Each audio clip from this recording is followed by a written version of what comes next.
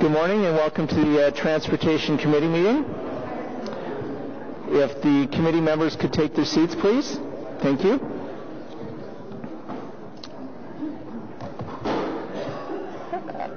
So uh, we have uh, no declarations of interest.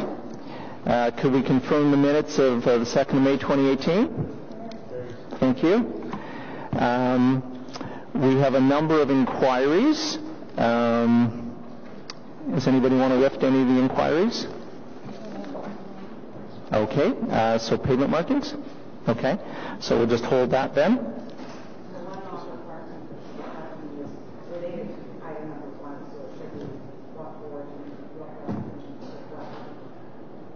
Okay, we have the motion on the table, but you'd, you'd also like the inquiry lifted? The inquiry should be used there so people have further information. Okay, so someone is going to have to make that request on behalf of Councillor Wilkinson because she's not a sitting member. Anybody? Councillor Qaqish? Okay, so we'll hold that one as well. Um, the first item on the agenda is parking spaces to accommodate cars and cyclists. And there is a replacement motion uh, that is being circulated now, so everybody will get a copy shortly on that from the clerk's office. Uh, and that will be introduced by the vice chair when we get to that matter. Um, Item number two is gateway uh, speed limit signage in residential areas, and we have a speaker on that, so we'll hold that item as well. And we also have a presentation, a brief presentation from staff. Uh, Councillor Leiper, who's also uh, here today but not a member of the committee, has asked that uh, item number three be uh, taken off this agenda and added to the next agenda. Uh, because there are certain people that want to come to speak to that matter that aren't available uh, to be there to be here today, and it is a councillor's item. So, is someone willing to move that? Uh, thank you, Councillor Monette. Is that acceptable to everybody? Okay. We'll see you next meeting, Jeff.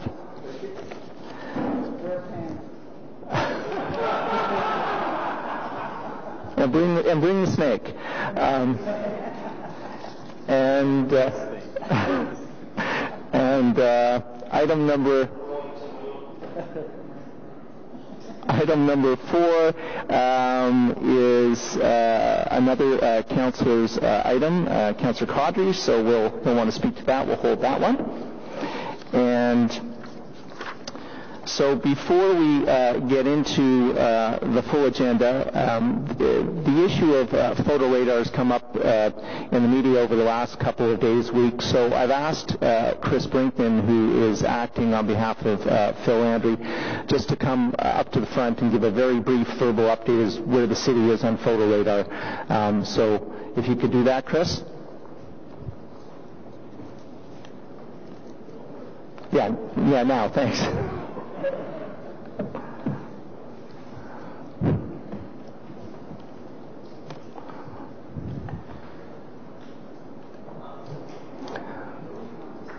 So basically what we're looking for, Chris, is some clarification in terms of where the process stands now, what the city has done, and if the city still is required to do anything further, or if it's now in the hands of the province. Thank you. Uh, thank you, Mr. Chair, and uh, good morning. Yeah, just a very quick update. Um, the matter does reside with the province right now. They have passed the um, enabling legislation for automated speed enforcement in the province. Um, it is restricted within school zones and community safety zones. Um, staff do have participation um, from uh, participating with other municipalities, with the province, legal representation, technical representation as we work towards rolling this out. Um, uh, the working groups are currently committed to trying to roll out the program in 2019. That's the goal.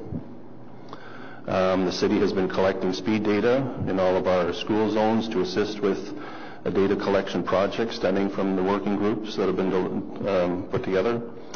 Uh, we've completed 72 of our 370 schools and will continue data collection in September and hopes to have it completed before the winter of 2018. Um, At this time, it's still sort of unclear as to what automated speed enforcement deployments will look like, whether it'll be trailer um, versus uh, vehicle mounted or both. I've seen some in other jurisdictions that do both, or permanent units in the field. So uh, this is being looked at within the context of the various working groups. Uh, and so that kind of summarizes very high level as to where we stand right now. So working with the province, working with our other partners to get this rolling for next year. So, so in a nutshell, in terms of the committee and council, we've done what we need to do. We're just waiting on the province to finalize. Is that, is that accurate? That's correct. Okay. Thank you very much for that, Chris. So the first item on our agenda then is um, uh, there was a request to lift the pavement markings on roadways inquiry by Councillor Deans. We would have to have uh, two-thirds in favor of that. Okay, so uh, it's lifted, and um, I guess uh, if we could have staff come to the table on the issue of the uh, the pavement painting.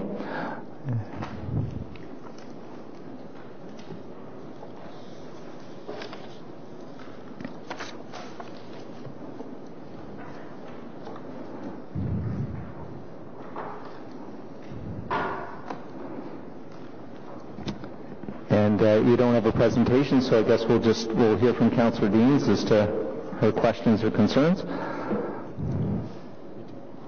Well, uh, thank you for the report. I appreciate it. And, uh, you know, it raised some questions in my mind. I think um, mostly around how you determined what the path forward would be for pavement markings. I mean, I appreciate that you recognize we have a problem, and it's a problem that needs to be addressed in the city. Um, but there were a lot of suggestions in the report, and I have done some looking across North America and how other municipalities are handling uh, these similar problems. I mean, since 2012, when the federal government made a change to low VOC paint, it seems like across Canada anyway, sorry, across Canada anyway, um, this is a problem that many municipalities face. I think Ottawa in particular has a problem because of our relatively harsh winters and the impact on pavement markings. But in the report, you suggested purchasing a second vehicle, which sounds like a good idea to me, but also you suggested focusing on arterial roadways only and doing um, striping on those twice annually. Um, but you also did um, note that other municipalities are looking at different paint products that might be better, and I noted that some municipalities are taking um, a different approach, which is actually carving out the center line and embedding it. So um, I'm just wondering how you came to a decision of what you would recommend to the 2019 budget. Uh, through the chair, the, um, there are a lot of different options that we can consider uh, with pavement markings. We've given you five, or pardon me, four sort of high-level alternatives and given you rough cost estimates uh, to get there. There are other options, there are combinations of those different things that we can uh, provide generally speaking, in the industry, uh, as you've mentioned, other municipalities, other government agencies that do this are having troubles with the paint products. Uh, it's an old way of doing things, and with the change in paint that was imposed on us, the, the paint formulations that was imposed on us through the federal government, um, the, the new paints just aren't lasting as long. And I think that's what we're seeing out there. So if, in our consultation with a number of uh, government agencies that we've spoken to and, and, Transportation Association of Canada and whatnot, um, most municipalities are looking at moving toward more durable markings, at least on, for some of their markings. Right. Um, so if we did that, for example, on the arterial roads, would we still need to um, paint them twice a year, or would once be enough? No, if you if you use a durable marking, once should be enough. Okay. So generally speaking, those the types of durable markings we're talking about might last a year, two years, somewhere in that range. So there may be some savings down the line in terms of, you know, I don't have to go back and paint that road every single year. I might be able to paint it, uh, you know, once and then wait two years before I go back and paint it. I don't think we're going to get there. I think we're going to be in a place where we're going to have, even though we're using durable markings, they'll provide a better product. It'll be brighter. It will last more through the winter, but you're still going to have to paint it every year. Okay, and so even if we used a more durable paint product, you would still feel that we needed that second vehicle, one painting vehicle?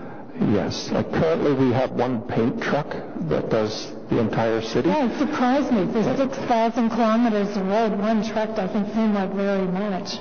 Most uh, people we talk to are surprised when we tell them that. Uh, it's a very full program for us. But the existing paint truck that we have uh, and the new one that we're purchasing that we're expecting soon uh, can't do the durable markings. You need a different type of paint truck to do that. Oh, so we would have to purchase a new one for durable markings? That's correct.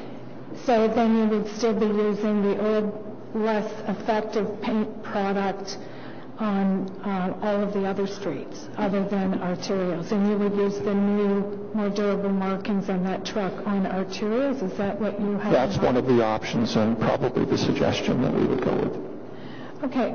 Um, what I would like to do is direct you between now and when we get into the 2019 budget process um, to do a cost-benefit analysis of all of the options and the costs and the benefits so that we could see, you know, laid out before us before we make a decision on where we're going to go in the budget because there are some significant budget implications here.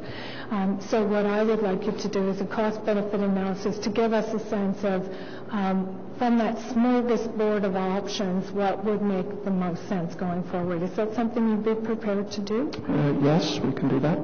Thank you. Those are my questions. Yeah, that's interesting, Councilor Deans, because we're, we're on the same page. Because what I was going to direct staff to do uh, was along those lines, but in addition, um, we just talked about photo radar, and while that's not in play yet, it will be in 2019. Um, so I'd like to direct staff uh, to go back and uh, when we uh, passed photo radar, we talked about those funds being used for traffic calming and road safety initiatives. So I'd like to direct staff to in addition to what's been asked of Councillor Deans, to look at the opportunity of, of how and how much of those funds we might be able to access in order to, for example, buy another paint truck or try a more durable uh, uh, uh uh, product that would last longer on the roads. And in addition to looking at that, I'd also look at the applicability of that source of funding as well uh, to uh, another matter we're going to deal with a little bit later, but the, uh, uh, the gateway speed signage as to whether we can enhance that budget as well and use the photo radar um, funds as, uh, as, a, as, a funding, as a funding mechanism. Um, that, that work and we can roll those two uh, directions together? Certainly. Okay. Thank you, Ben. Just ask one question? Yes, absolutely. Remember, I think this question might be too legal, but uh, I know in some programs we, uh, I think in police budgets, we, we can't actually um, take the revenues from uh, fines and direct them. They have to go into general revenue. So it, would there be any impediment to directing the proceeds from photo radar to these programs? I think, Mr. Chair, uh, the, the council raised a good point. We'll work with operational staff to include that as part of the uh, submission for budget purposes. Thank you, uh, Mr. Clerk. As I say, the, the direction was based on the discussions that we had at the time when we passed that, where we said we were going to use those funds uh, for road safety uh, and road calming, uh, or traffic calming rather. So that's where that direction comes from. So I'm hoping the answer to that will continue to be yes, Mr. Clerk. Um, but uh, we'll, we'll, wait to answer your answer to that. Uh, so the, the next uh, councillor who wanted to speak to the matter was uh, Councillor Flaherty. Thank you, Mr. Chair. And I'll begin where you're, uh, where you're ending here. I, I'm, I'm not privy to what are the legal parameters, and I think they're important because we're all interested in line painting. We're all interested in uh, additional safety in our school zone near parks. Uh, we have a small traffic calming budget. Like, could we get maybe a briefing note as to what's the extent of the funds from photo radars and how we can use them? Because I know that that's been pre, you know, uh, a conversation around this uh, this committee table relating to some of our traffic calming funds and other funds. Exa- example, PXOs. We have some. Uh, we all have some in our ward that are in the queue, as we I guess have one. We see about one a year. So is it possible to ask the clerk uh, to get a briefing onto what are the parameters around photo radar so that we actually can include it holistically to, to uh, in terms of funds? I think Mr. Manconi wants to speak to that uh, question. John? Mr. Chair, I think to, to assist in this regard, certainly we'll do everything uh, both you and the two councillors have asked for in terms of the cost benefit and options and scenarios. I think we segregate that from funding. Let's, uh, we'll give you the information on the program elements, and then I will speak to the treasurer on uh, the budget directions report, because I think that's the right venue for you to discuss where you want to direct any revenue stream and where you can direct it and vis-a-vis all the other priorities, because certainly there's been a lot of discussions in that regard in terms of where this money will come from. Uh, so we'll bring you both pieces if, if that works for you, but I would just recommend you put the funding over to the, uh, the budget directions report with, uh, with the treasurer. And, and, uh, and Mr. Manconi, in light of this being an election year and what have you, when would, when would the budget directions report be coming forward? Because the timeline changes a little bit in election year. It, it does. I don't have that timing for you. I know the treasurer is working with the city manager mapping that out, uh, so um, I don't have that right now, but it is on that altered schedule, I believe. Okay, thank you. Um, uh, Councillor Poirier, or I'm not completed. I have questions to stop, Okay, but just okay. on that element, so you're confirming that you come back, give the, the range of parameters as a as a, a memo to this committee uh, ahead of basically after uh, and when the new council kicks in, but ahead of the budget discussions. Is that kind of the range? Uh, Rick, uh, the city solicitor is nodding yes, as we've done in the past, so you'll have the budget directions report.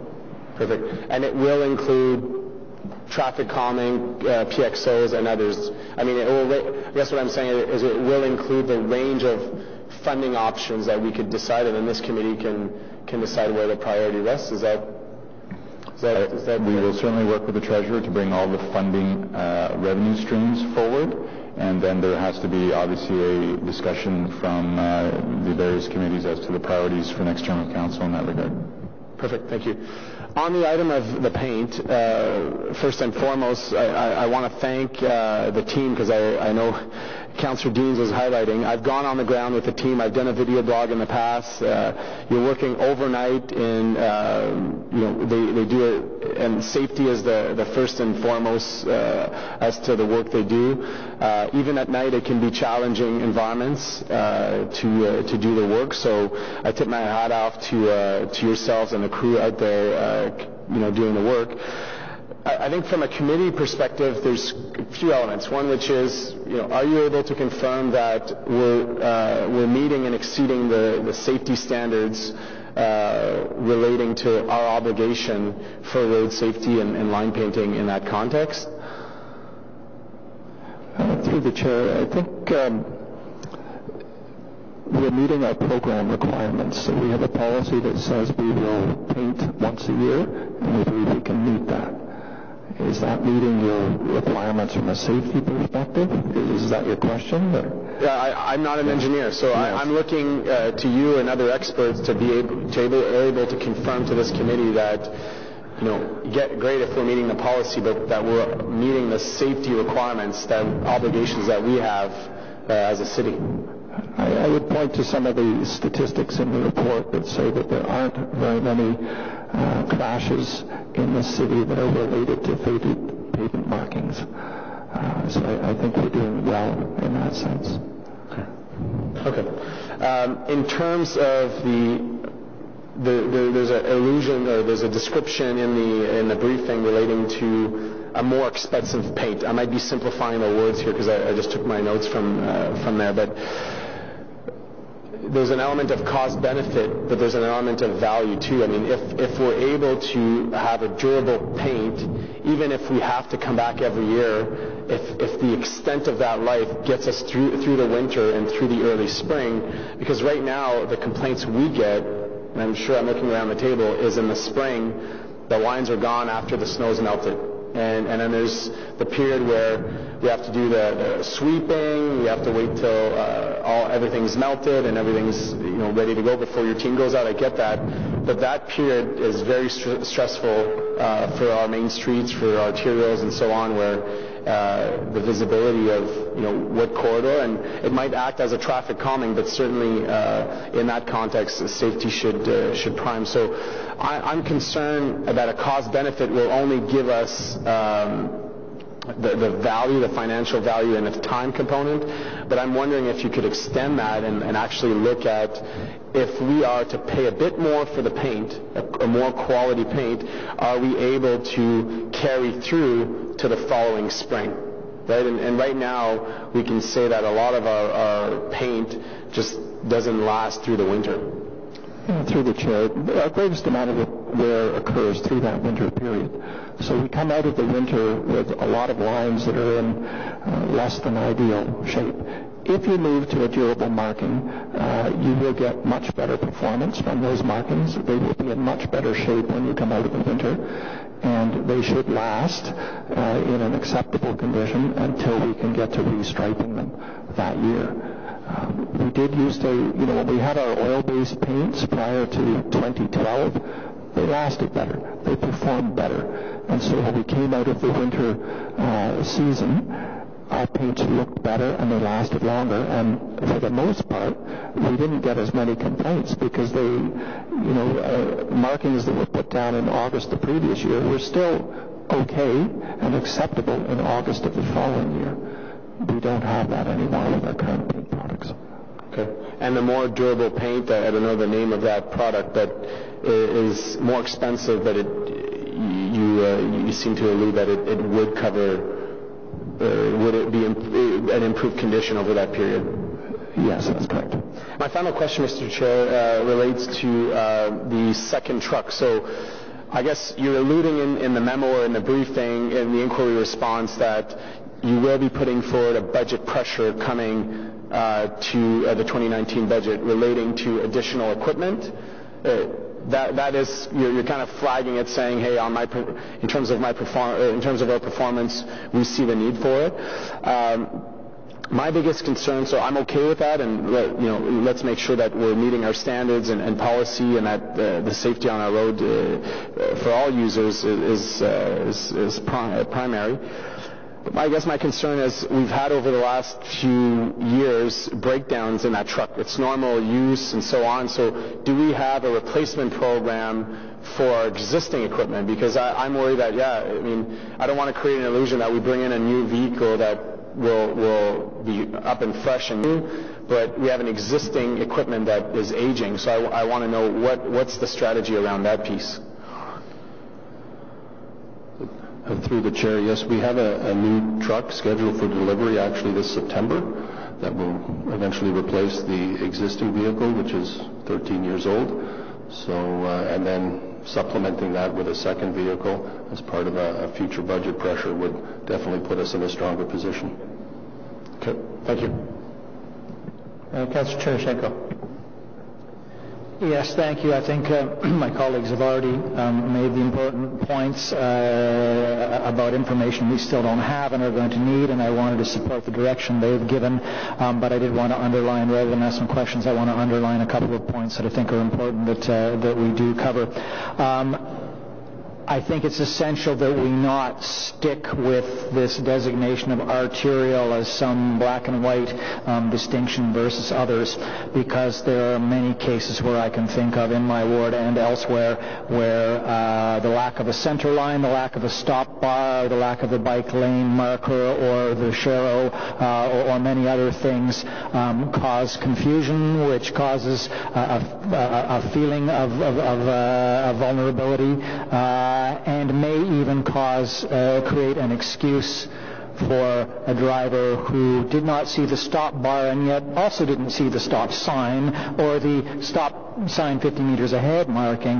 Um, so the point I'm trying to get to is that um, perhaps the distinction would be more identifying where there is significant wear and tear, uh, as opposed to is it arterial and is it you know, a residential road, um, because we may find there are arterial locations where the lines are holding up quite well, but residential or you know uh, uh, roads where where they're not. So um, I think I would like some kind of commentary on what you come back with uh, on the ability to um, identify pavement markings that are wearing away quite quickly and, and not be tied to this idea as is it arterial or, or not. As, as I've already said, I think we may, we may lose some important safety uh, um, needs and opportunities uh, if we do that.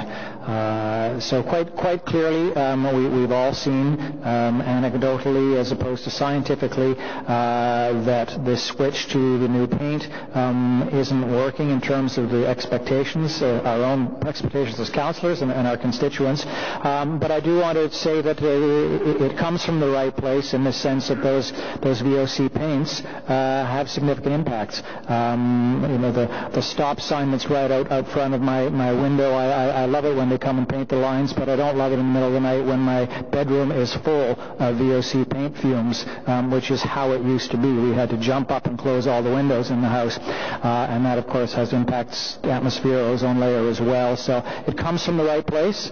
It's pushed municipalities to find alternatives, uh, and, and I look forward to working with staff to figuring out what those are. Something better than what we have now, but not going back to VOCs.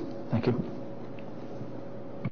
Uh, thank you very much. Uh, Councillor Wilkinson on the list, but just a quick question to follow up. When, when the federal government made the change to the regulations, was that tied in any way to any financial assistance to cities to adjust to the need to either paint more or buy different and more expensive uh, supplies to do the job with different equipment? Was, was there any transitional money, any, any aid to uh, help cities adjust to the new program? Through the chair, I, I don't believe so. Okay, thank you. Uh, Councillor Wilkinson. Thank you, Mr. Chair. Just one, one of the things I think you have to take into account for an aging population, uh, as I already know, your eyesight isn't as good as you get older, and those white lines, especially on the side of the road, are crucial. And I think uh, it's really important. In the wintertime, it gets to be dangerous for the drivers, and I've heard this from many, and I've noticed it myself as well. So I just want whatever you're coming up with, I think we are going to have to budget enough to provide for it. I think that's something for my council colleagues as well, not only because of the general safety one, but because we have a rapidly aging population, many of whom can drive quite long, a long time. I've just had to take that driving test, and even though my eyesight isn't as good as it used to be, it's still enough to drive. And uh, and it's heavily important for uh, ensuring safety. And that just, if you can get one that lasts through the winter, it would be so much desired. I mean, there's nothing more. We all hear it. I know every spring you can't see where anything is because the paint's gone. So I look forward, if not on council, I will be looking at this report. Thank you. Uh, Councillor Qaqish. Thank you, uh, Mr. Chair. And I do agree with Councillor Chernushenko about the residential smaller streets where it can be a little more dangerous, whereas with the arterials or the bigger roads, you'll see other uh, signs that would bring you to a halt, whereas in the residential, sometimes trees or other things um, can be a bit misleading. Uh, my question is with regards to, uh, you know, the timelines from when I see you have a lot of numbers and a lot of information here with regards to um, getting back to those service requests, what's on average the, time between when we get a SR request and when it's actually completed? Uh, through the chair, that, that varies uh, quite a bit depending on the location and depending on how we prioritize the work at that location. So if, if we find that the markings in a particular area are 70% worn, we will prioritize that location over another area where the markings are only 30% worn. Um, if you're asking for an average, I don't have an exact number, but I'm going to say it's probably in the six to eight week range.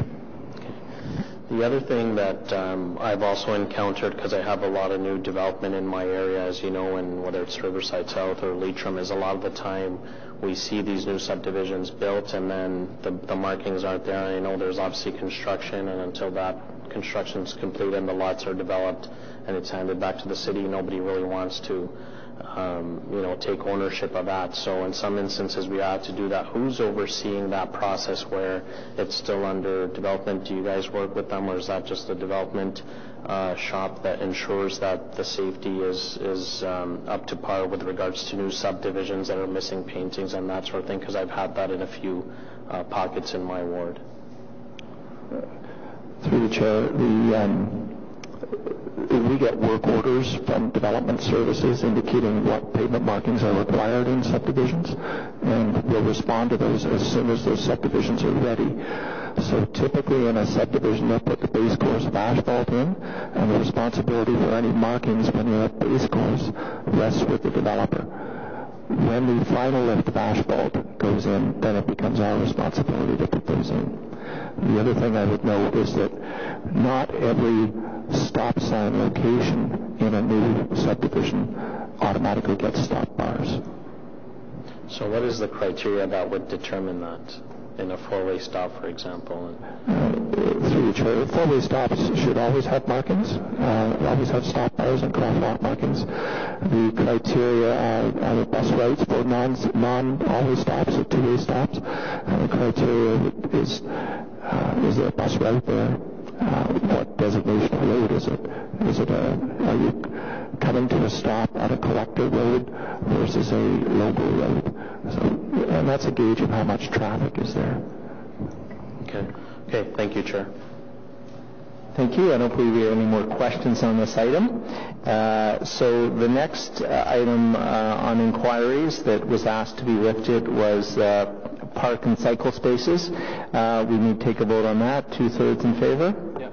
So I'm going to ask, thank you, I'm going to ask the Vice Chair to introduce the substitute motion uh, in this matter.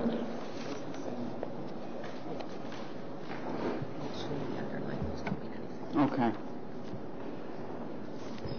Thank you, Chair. Do you want me to read out the entire thing? I think so. I think it would be helpful. Yeah, Okay. thank you.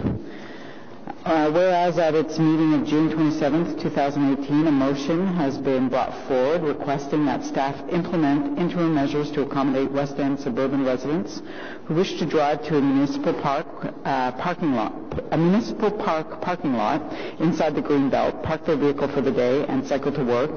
And council referred this issue to the transportation committee for consideration.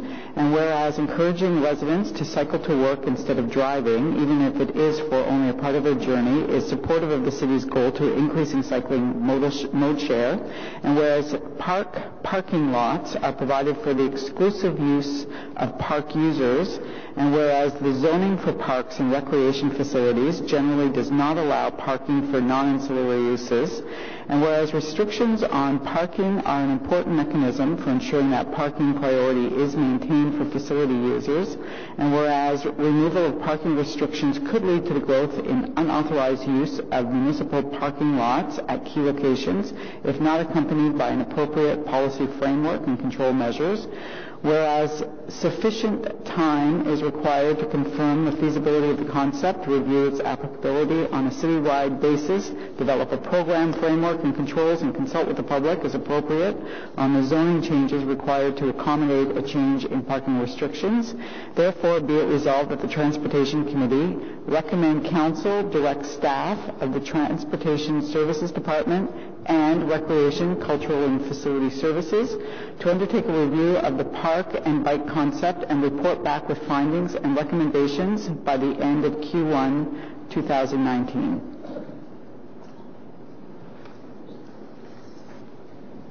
Thank you very much for introducing that. I have a quick question for the clerk.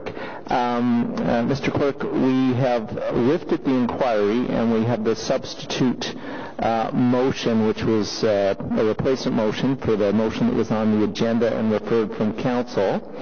Um, I'm just wondering, do we deal with this all in one piece, or do people speak to the inquiry and then deal with the motion? And to add to the mix, just to make it a little bit more confusing, we do have a public delegation that wishes to speak uh, to the motion, uh, but not the replacement motion, but the, the, the, the original motion.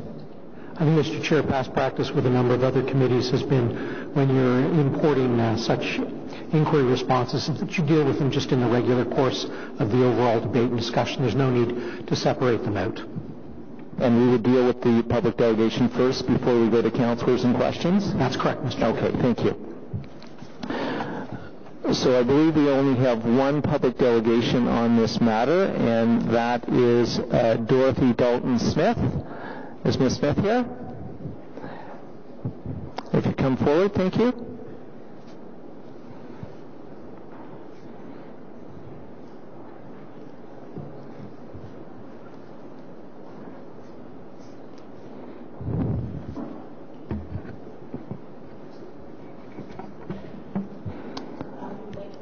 Good morning, and you have uh, five minutes to make your presentation. My name is Dorothy Dalton Smith, and I'm currently a resident of Kanata North, longtime resident of the Crystal Beach, Britannia area, so I'm familiar with the parks in question. I was asked by Councillor Wilkinson to speak to the Transportation Committee regarding the park and cycle motion under consideration. I first contacted the councillor after reading Patrick Pierce's letter in The Citizen earlier this summer, which outlined an apparent crackdown by the city when a number of cars were ticketed in West End parks. When I called the City of Ottawa to have the parking regulations for the city parks clarified, I was surprised to have confirmed that indeed the parking lots at city parks are only to be used by those that plan to utilize the park in the moment. When I asked whether bicyclists who use the toilet facilities in the park refill water bottles at fountains in the park and then travel to work or recreation on pathways that run through several contiguous parks would fit this category, I was informed that we would not. The bylaw requires users to remain in the park. I have lived and worked in Ottawa since 1980 and have long been a supporter of cycling in the park. I parked my car at Andrew Haydon Park to commute to work near Holland Avenue and then Broadview Avenue for over 30 years. When I arrived at the parking lot between 7 and 7.30 a.m., there was always plenty of parking. When I returned between 4 and 4.30 p.m., there was still plenty of parking. Since retiring five years ago and moving to Kanata, I park at the Nepean Sailing Club, Andrew Haydon Park, or Britannia Park in the mid-morning. Find plenty of spots available, bicycle for a few hours, and return in the mid to late afternoon to a nearly empty lot. I've recently taken photos that can attest to this. In my experience of these parking lots, there's a slight traffic increase to use the water park mid-morning to mid-afternoon and during special events. But the usual situation is that there is plenty of parking to go around throughout the day. Commuter traffic clears out of the lots between 4 and 5 p.m., leaving plenty of room for the evening users of the park to find parking spots. I understand that the current motion will set aside 10 parking spots for cyclists. I am not yet sure how this motion will look when it rolls out, but I do hope that the committee will keep these concerns of cyclists as their main focus. Number one, these parking spots are necessary because we arrive at the pathways from all over the region in order to work or enjoy recreation in Ottawa. This has the advantage of reducing vehicle traffic in the downtown core. Number two, many of us would like to access the pathways efficiently and safely while avoiding roadways where it is common to see speeds of 80 kilometers an hour, poor pavement, and bike lanes that end without warning. Number three, regulations that require users to remain in the parking lot for a limited period of time should be eliminated. Number four, cyclists should be able to park and bicycle to other areas of the city along the pathways rather than remain in the park. Number five, put in place supports for all cyclists and commuters in the region, as well as those that live closer to the core. Number six, continue a program of improvements to the network, please. Number seven, develop an education component to reduce the negative interactions between drivers and cyclists. The bicycle paths in Ottawa are a world-class treasure that have been receiving some well-needed updates of late. As the city builds on its reputation as a strong cycling advocate, we need to ensure that policies reflect the needs of the users of this infrastructure and that access and safety remain upmost in the minds of policymakers. Thank you for your time and the work that you do on behalf of the city. And thank you for your presentation. Any questions for the delegation? Councillor Wilkinson. Just really thank you, Dorothy. Uh, you say you've been doing this for 30 years, I think I heard you say. Mm-hmm. Have you ever had a ticket for doing this? I've never had a ticket for doing this. So this has been, I don't know what, what happens with uh, uh, when you have a long-term use. I know with private property, sometimes it's been used for a long time. You've got to keep on using it uh, because it's gained the right to use it. And I don't know if the legal people can say if people have been doing something for 30 years without anybody objecting to it, does that in fact override the zoning and give them the right to use it? No, Mr. Chair. I, I, I've actually have known in some cases where over 30 years of that happening, that land is actually transferred from one owner to another by, uh, it doesn't apply to, prop, to public property, I guess, is the problem there.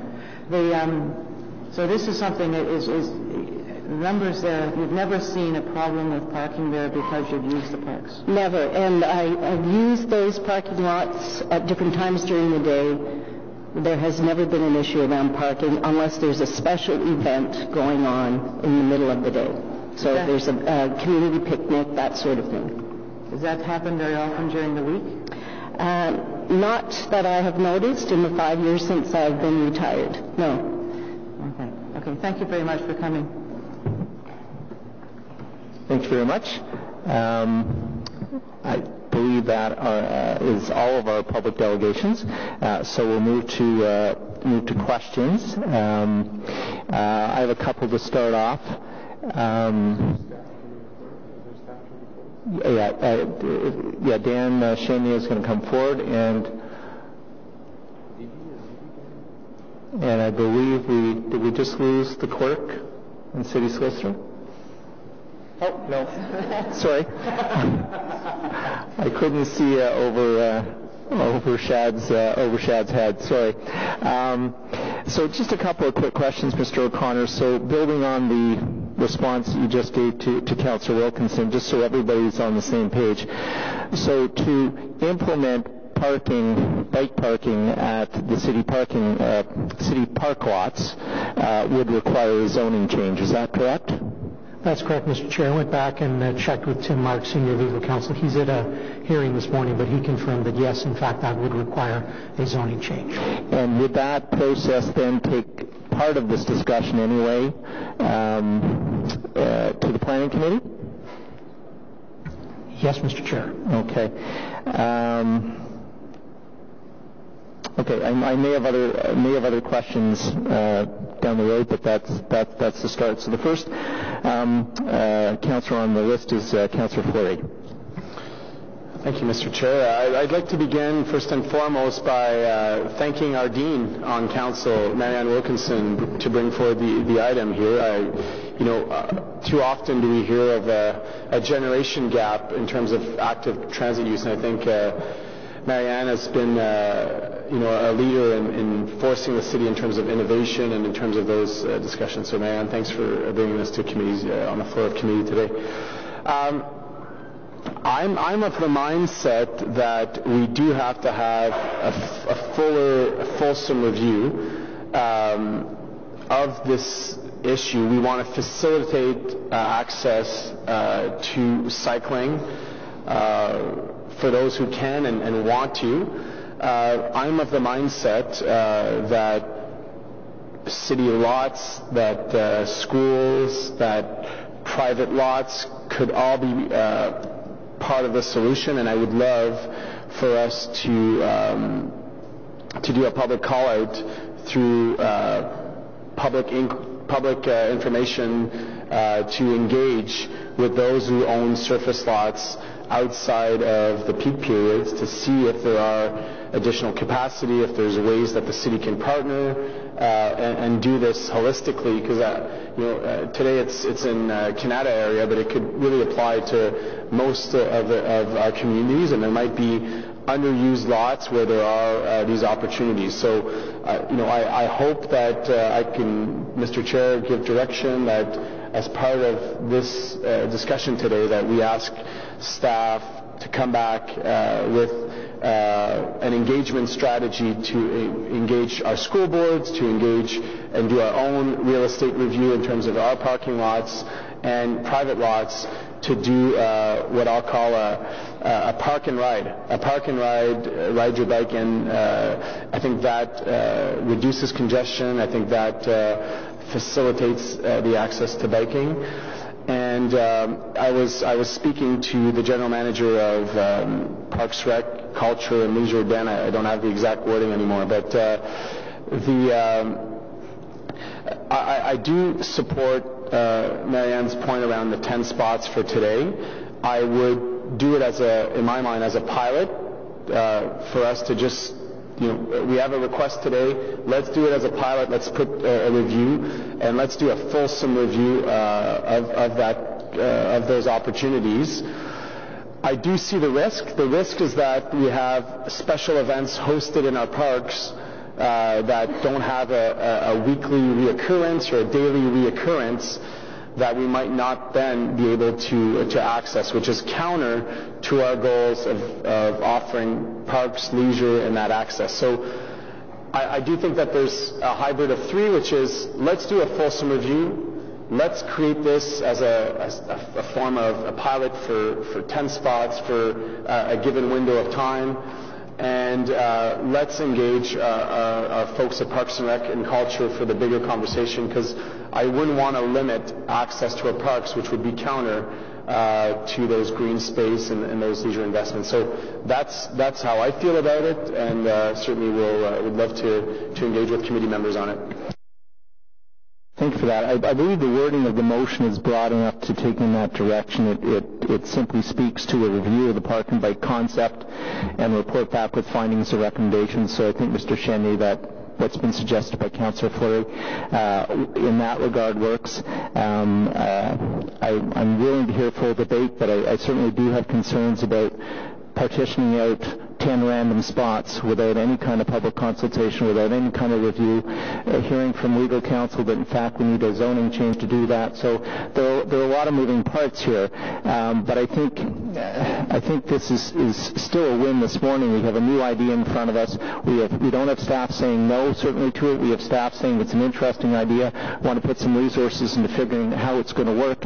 And if they came back to us on the timeline suggested, which is Q1 of 2019, um, a more uh, inclusive, a more uh, thought out approach to everything from licensing to choosing who gets to park and where they get to park and under what circumstances and everything else, as well as dealing with the zoning issue, uh, we could likely have a, a more fulsome process or pilot in place uh, for the spring of uh, 2019. So um, I may have more to say on it uh, later. Um, the uh, next speaker on the list, uh, I believe, is uh, is Councillor Chernushenko. Thank you very much. I, I, I certainly like what I'm, I'm, hearing from everyone, I believe there is a, there's a compromise, there's a way forward that is going to work. Often it's said in bureaucracies the best way to kill a good idea is to acknowledge it's a good idea and go out and study it more. Um, but in this case, I think we do have to study it more, but not necessarily use that as an impediment to start piloting while we're doing that. Um, I, and I thank the speaker because she does raise her own personal experience, one that I've frequently, it's my own experience often.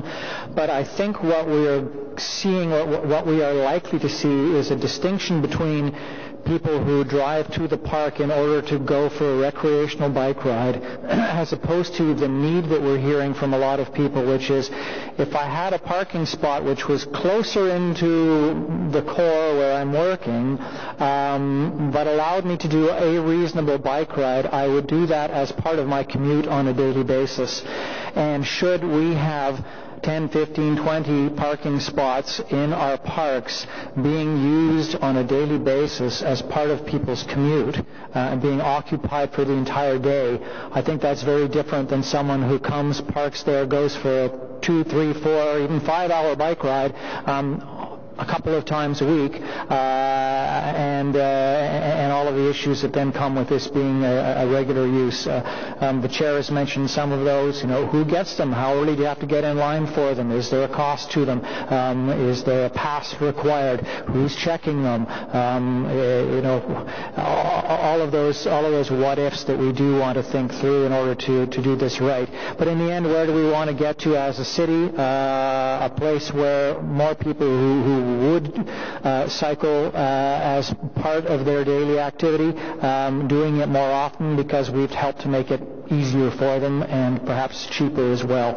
Uh, is there a solution in there that meets all those needs? Uh, I hope so possibly some compromises in some areas. Um, but I like I like where this motion is going, and if it is compatible to do a pilot, um, I didn't catch whether that was for this year uh, or, uh, or, or the beginning of uh, of next year to see are these problems really arising? Are they imagined? Uh, I imagine it will be depend. You know, there will be case by case locations. Um, I think we can find a way to uh, um, to making this work. Thank you. Thank you, uh, Councillor. Uh, Councillor. Thank you, uh, thank you, Chair, and uh, thank you to Councillor Wilkinson for uh, bringing this forward. Um, you know, we, uh, for those of us who um, represent downtown, uh, you know, inner urban wards, congestion is uh, a serious issue that we, you know, we struggle with always, and we need to encourage multi-modes of uh, transportation.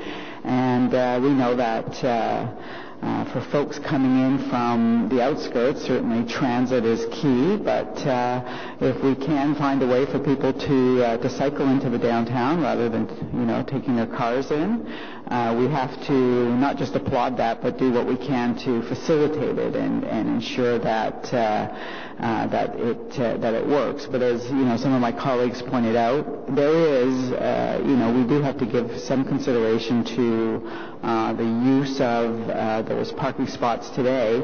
And my understanding is that um, a pilot, even if we decided today, let's go ahead with a pilot for 10 spots, um, that would require a zoning change. Is that correct?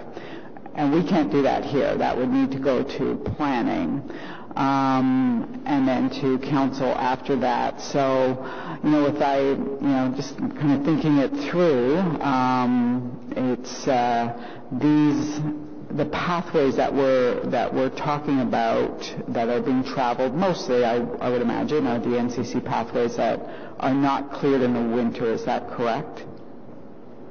Uh, I believe that's correct, Councillor, that for the most part we're talking about uh, pathways that would end being open by, certainly by December. Mm-hmm. Uh, and given the time for a zoning change for the public consultation to take place, uh, you'd probably be looking at, you know, certainly probably more than a month into the fall before we were even at that point of getting it on to council.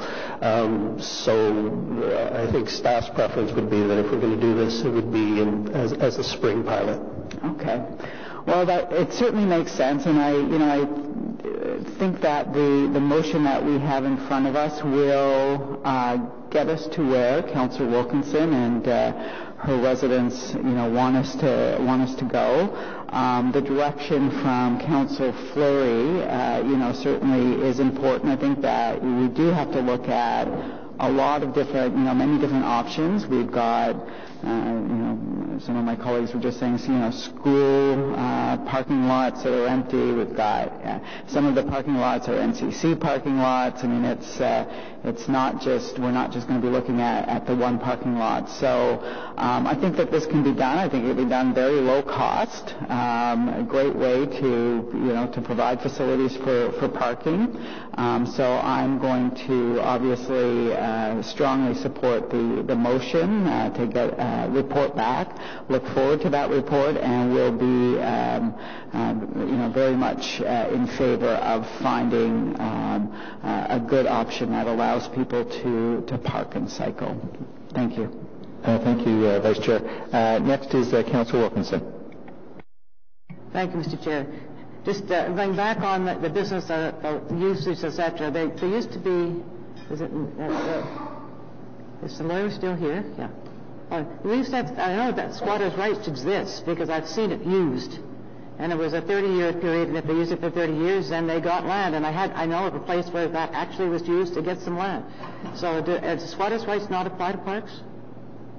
They're not staying Um, Mr. Chair, uh, squatters' rights are, are a, a, different principle uh, that relate to ownership of the property. They don't relate to the use of a property.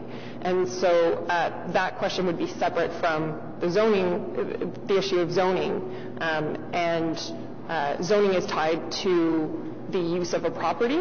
Um, so if someone is conducting a use that's not permitted under the zoning of a property, it's still contrary to the, the zoning bylaw. I've known it not to be used for rights because in England, for example, where this comes from, there are many, many pathways that go across private property that their right to use them is on, whether it's called squatter's rights or something, is because it's a long-term use. They don't actually get changed the ownership of the land. It is a use change. So that's, is that not the case in Canada as well? Um, it, is the case with respect to easements and certain property rights that, and that used to be the case in Ontario um, when there was a transfer of the land title system from the previous registry system into uh, its current system. Uh, the ability to acquire those rights was essentially eliminated for all new properties going forward. Uh, so it, it, it's also a little bit different than what we're talking about here, which is a, publicly owned property that the public has access to. Um, and, so it's I think what you're talking about is, is the right of access that's acquired over time and the right to cut across someone's property to access one's own property, um, which again is not the case here so it, it doesn't apply. So, after 50 years, we suddenly got one parking, some parking tickets given for parking on private property. I always thought our parks were public property. And um, I, am going to encourage anybody who gets any of these tickets to go to the provincial court until we get this finished, because it's going to be there's a time lag right now of what it looks like um, to actually go to the court and say this is public property and I'd see if they can get that waived. And I know by talking to, to Mr. Chenier that they are not asking the bylaw to go and ticket them and things like that. And as far as I know, there haven't been any tickets since then. And I know people are still going there. They're trying the other park that you suggested it with some difficulty too because it's a little bit further and you get caught in congestion to get there. Um, and so I'm hoping that people will just generally use it this fall, because once winter comes, they tend not to anyway. Uh, the one that's a think is an important thing in doing the study, and I have no objection to it. I wanted this to be a pilot and then to go on to do exactly what this motion is saying, to take a look at, at where we can do these. From the point of view of the people going on cycling, uh, the parks obviously have to be near cycling routes, and these ones happen to be on a very major cycling route, so that the park, you can park there, the cycling route's right there, and it takes you right downtown or to Westboro or to a lot of different places. Not, not everybody works downtown. And vice versa. Somebody working in town and happens to have a car and is trying to get to work in Kanata would find it easier to go there and take their bike and bike to Kanata because the time to get to Kanata now, the traffic out there is so bad that it's taking them 20 to 30 minutes just within Kanata to get there. So the bikes go around that. So I think it can work in both directions, not just for coming in, but also for going out. Say people going to the airport or various other places. Um, I think it's a healthy way of trying to say we have a very strange city in a way because we have a green belt. I don't know any other city in the world today that has a, a green belt that is actually the entire area is cut off. There are green strips and things like that, but not an entire one. That makes the distances much longer.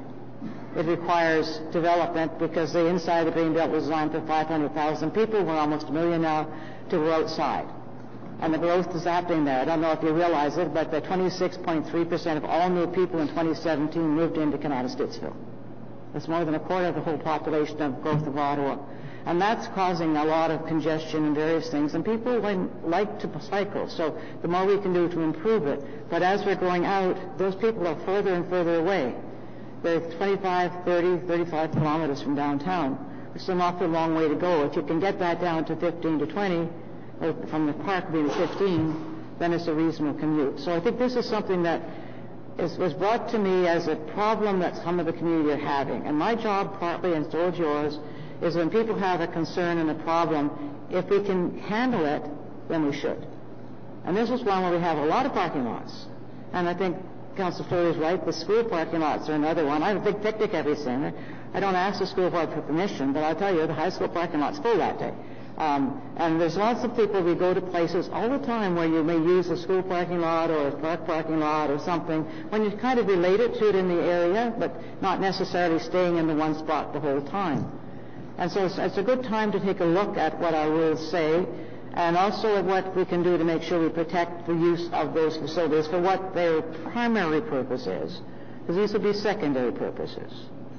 But having parking lots that we paid for sitting empty when we have people who could use them doesn't make any sense to me, and it doesn't make any sense to do new infrastructure when we don't have to, nor does it make sense to me in doing this study.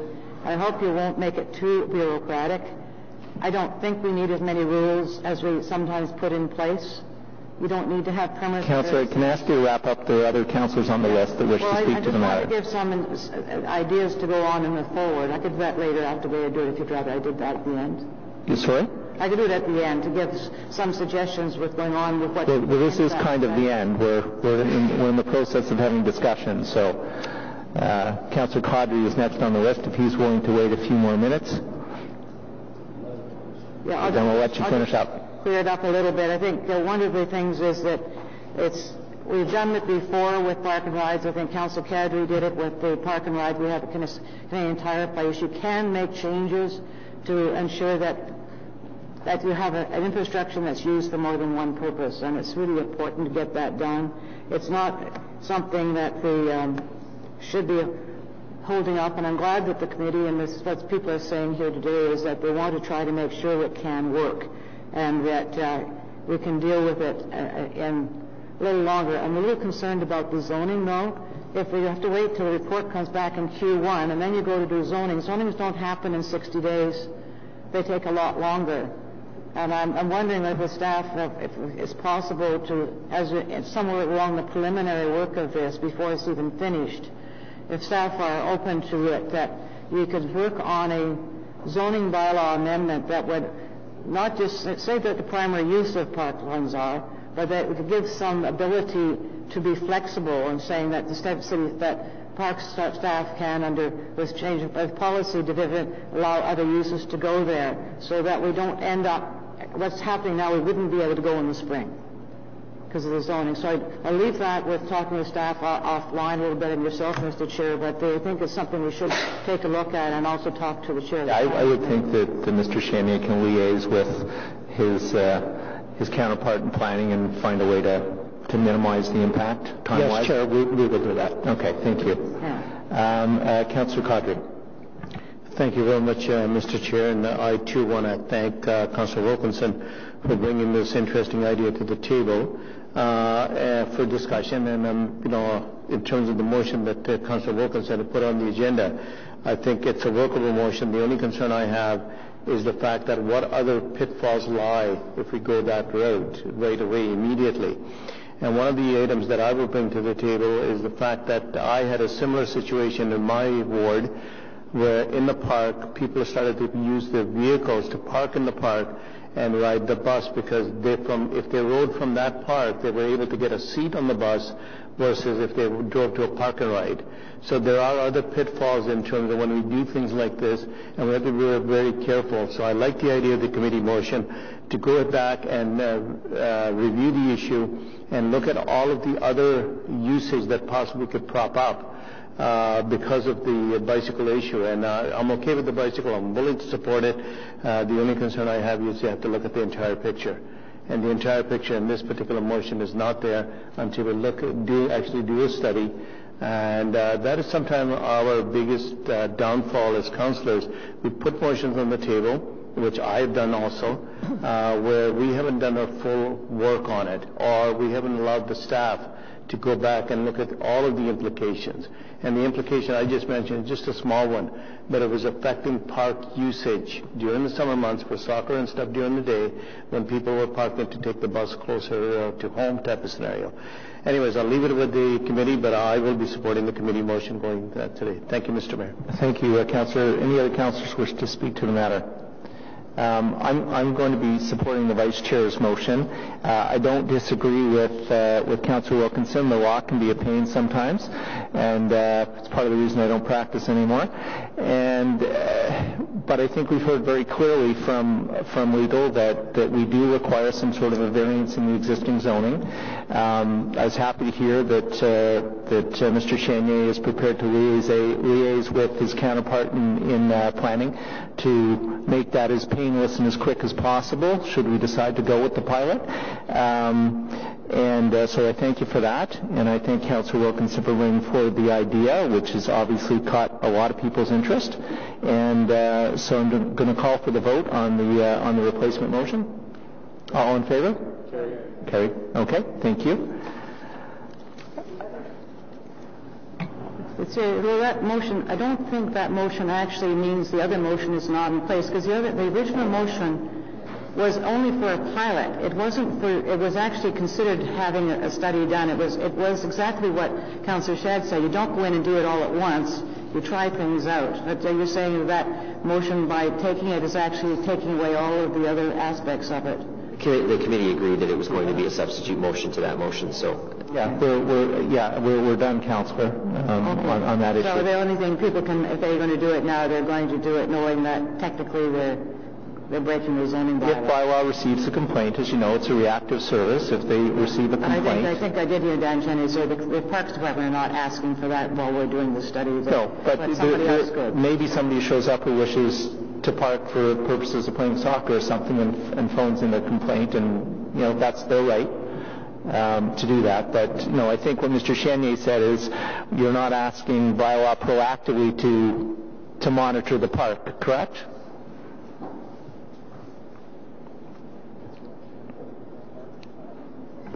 That's right, Councillor. Um, through my department, there have been very few complaints uh, to this. I suspect that what may have happened earlier in the summer is that residents called in or people that have booked the park and have come across a situation where there was an issue, but um, we don't proactively uh, call in bylaw to, to, to monitor parking lots. They do, I know, go to parks and, and uh, do some monitoring if, if, if there is, uh, as part of their daily work uh, in pretty well all city parks with large parking lots, uh, but we're not going out of our way to call them in specifically for this. I, pr- I appreciate that. Thank you. Um, the next item on the agenda is uh, gateway uh, speed limit signage in residential areas, and we have a brief presentation from staff on that. I believe Mr. Brinkman is going to do the presentation. And we also have a speaker on this particular matter as well.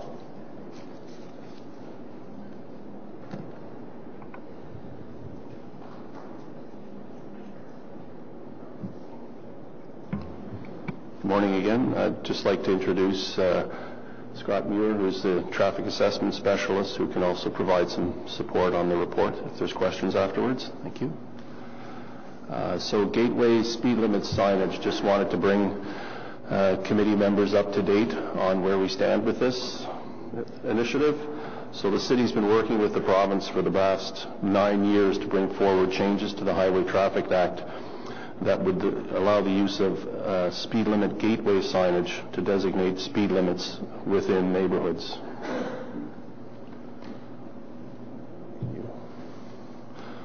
This is the type of signage that we could now introduce coming into residential neighborhoods as opposed to having to install them on a block by block basis. They would be installed on, what we call the gateways coming into the neighborhoods. Um, the signs depicted here would be required at each entry and exit point to the area.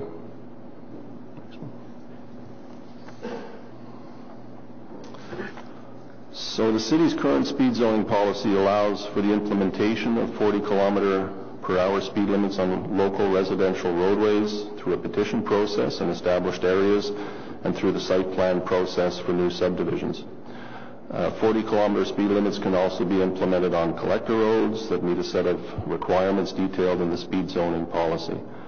Until recently, implementing 40 kilometer per hour speed limits required the installation of a sign every 300 meters and or after every cross street along a roadway. Implementation was done on a street-by-street basis, often, often leading to similar roadways within the same community having different speed limits. With this new legislation, gateway speed limit signage, signs are only required at the entry and exit points into a specific area, significantly reducing the number of signs required to establish a consistent speed limit in the area. Implementing speed, uh, speed limits on an area level provides more consistency and helps better under, drivers better understand what is expected of them when entering a neighborhood. So how do we designate areas? Uh, staff have undertaken a preliminary review of the entire road network to determine where gateway speed limits should be applied based on guidance provided in the speed zoning policy. Eligible roadways generally include all local residential roadways as well as collector roadways that are currently posted at 40 kilometers per hour.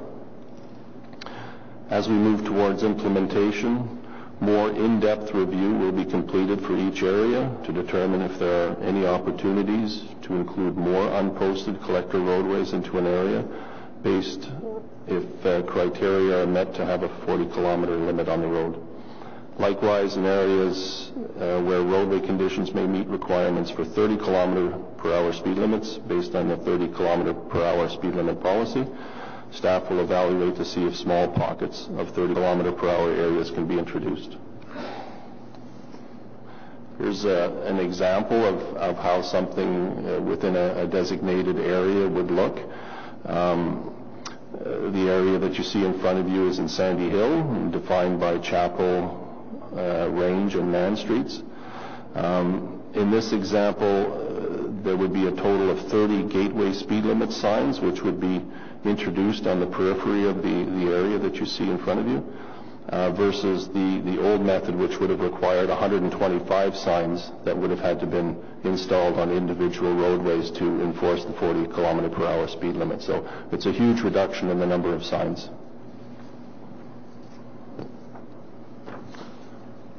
Implementation. Um, in 2009, when the city's speed zoning policy was approved, $50,000 per year was allocated within the signs maintenance budget to implement speed limit changes. The proposed implementation plan for the new gateway signage uh, uh, project would be to implement one area per, per ward between now and the end of 2019 up to a $50,000 per year cap. Uh, consultation with ward councillors would be undertaken to establish priorities. The total cost of implementing gateway signage is estimated at approximately $1.58 million. Um, in all designated areas citywide. Uh, at $50,000 per year, uh, that would take us approximately 30 years to accomplish. Uh, staff, however, are currently exploring funding options to to accelerate implementation. Uh, thank you very much, uh, Chris. And I hope, uh, further to what we were talking about this morning, one of those funding options we're going to look at is potentially accessing the funds from the photo radar program. Um, we do have, before we go to councilors, we do have uh, one speaker, uh, Tammy Lynch, to speak to the matter. So if you could come forward, please.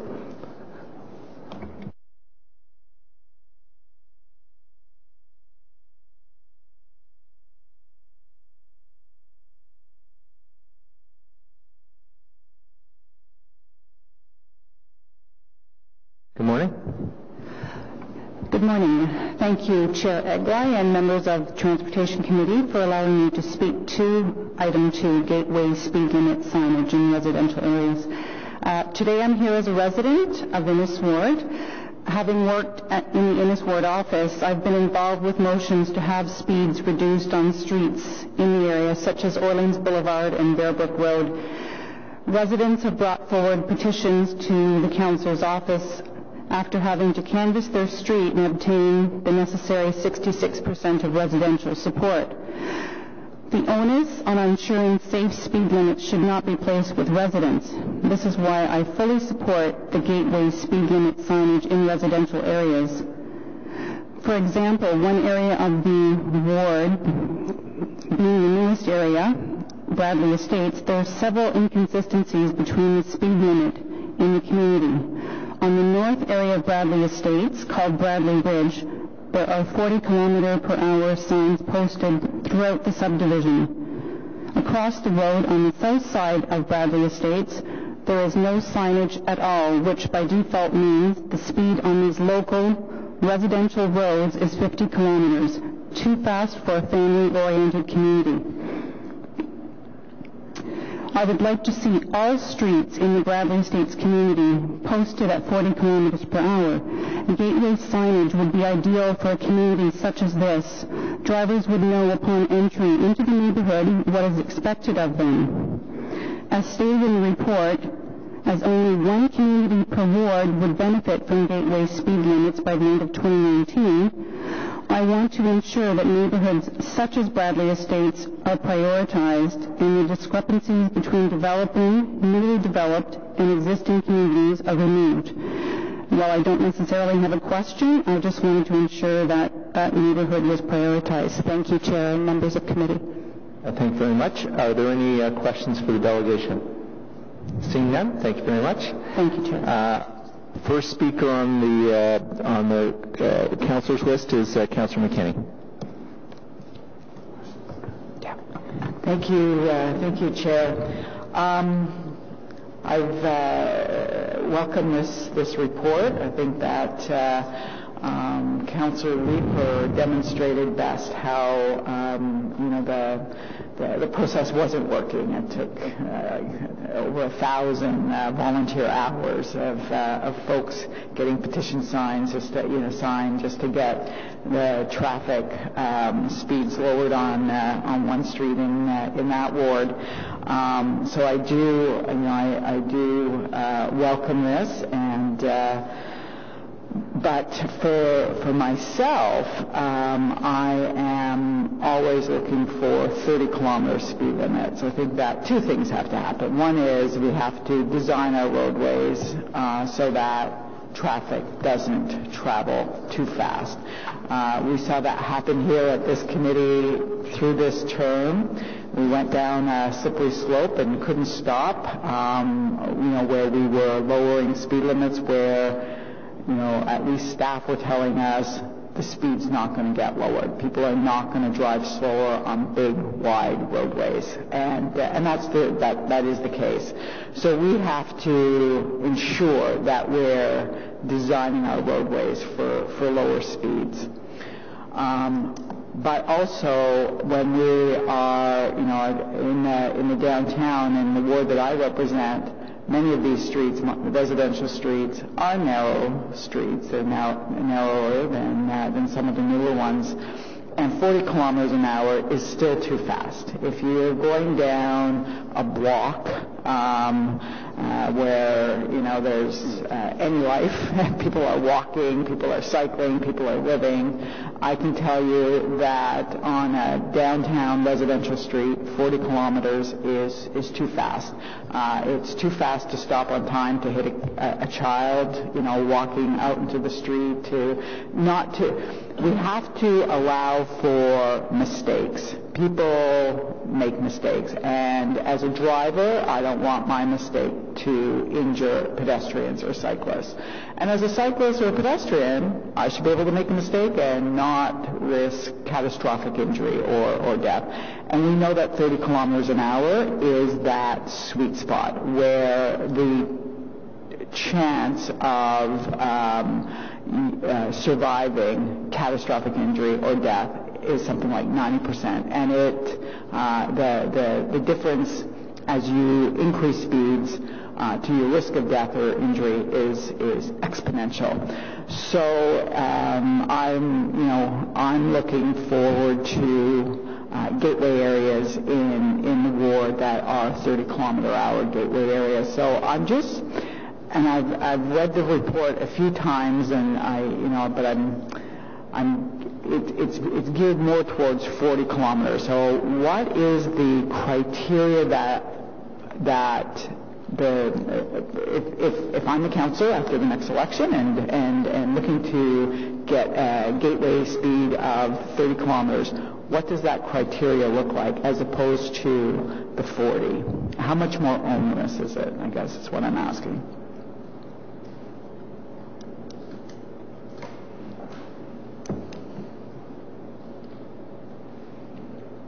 Um, through the chair, so the city currently does have a 30 kilometer per hour speed limit policy, and I would suggest that requests for that be made through staff to review that specific street through that lens. Um, like you, like you mentioned, uh, once you set on some facilities real, uh, speed limits artificially low, perhaps if they're not in in um, in formation with with the street itself, the width of the road, the width of the lanes, the volume of traffic, then you create this discrepancy in speeds, I guess, between the 30 kilometer posted and then whatever the drivers would be probably driving. Um, but that's the case for 40 kilometers as well. So I'm just, I guess my question is, how much more onerous w- will it be with this policy uh, to put in place a 30 kilometer gateway as opposed to a 40 kilometer gateway where the warrants, you know, where you, there's a reasonable expectation that cars will travel that speed because the roads are a bit narrower, the residential roadways, we can use traffic calming and other low-cost calming, traffic calming measures.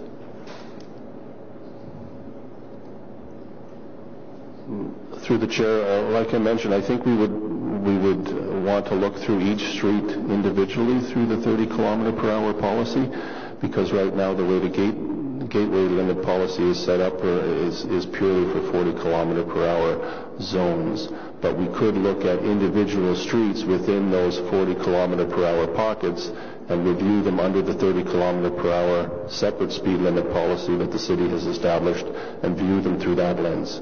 But that doesn't make it any easier today. I've been asking for that actually for two years. I'm not many many times. I've said where where are the streets in my ward that warrant 30 kilometers, and I've never gotten that. So I'm going to be back here if I'm so lucky, another two years. Uh, asking for the same thing. So this this report is not giving me and the residents that I represent who ask for 30 kilometers all the time. People are not interested in 40 for streets like, I can run them off, Poplar, Elm, like all of these small residential streets. People are not looking for 40 kilometer gateways, they're looking for 30 kilometers. So um, I don't see any change uh, that will um, suffice for, for the downtown.